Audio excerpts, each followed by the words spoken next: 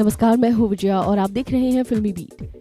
Big boss के ex contestant ने खोला माहिरा का गेम प्लान सुनकर आप भी हो जाएँगे हैरान। जी हाँ बिग बॉस के सीज़न ने सभी दर्शकों का ध्यान अपनी तरफ़ खींच लिया है। कंटेस्टेंट्स के बीच झगड़े और प्यार सोशल मीडिया पर काफ़ी ज़्यादा सुर्खियों में बने हुए हैं। शहनाज गिल और माहिरा शर्मा की लड़ाई ने एक बार फिर शो पर बहस शुरू कर दी है। वीकेंड का वार में शहनाज गिल, सलमान खान से नाराज़ भी हो गए थे। अब माहिरा शर्मा पर बिग बॉस सीज़न सेवन के कंटेस्टेंट विजय एंडी का रिएक्शन आया है। दरअसल एंडी ने पारस छाबड़ा और माहिरा शर्मा दोनों पर ही उंगली उठाई है। या एक तरीके से कह सकते हैं कि उनका गेम प्लान समझाया है। एंडी ने ट्वीट किया, क्या किसी ने नोटिस किया है कि माहिरा शर्मा ने पारस छाबड़ा से अपना सम्मान दिखाने के लिए कहा है और वो अपना पीड़ित की तरह व्यवहार कर रहा है? क्या ये माहिरा का गेम खेलने का तरीका है?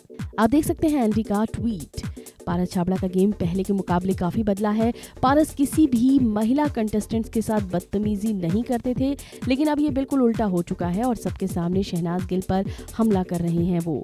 इसके अलावा पारस सबके सामने माहिरा शर्मा का भी पक्ष लेते नज़र आते हैं।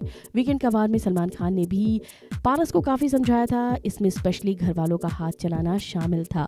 माहिरा शर्मा ने सलमान खान से शिकायत की थी कि पारस ज़बरदस्ती किस करते हैं, जिससे उन्हें काफ़ी परेशानी होती है और उनका हाथ उठ जाता है।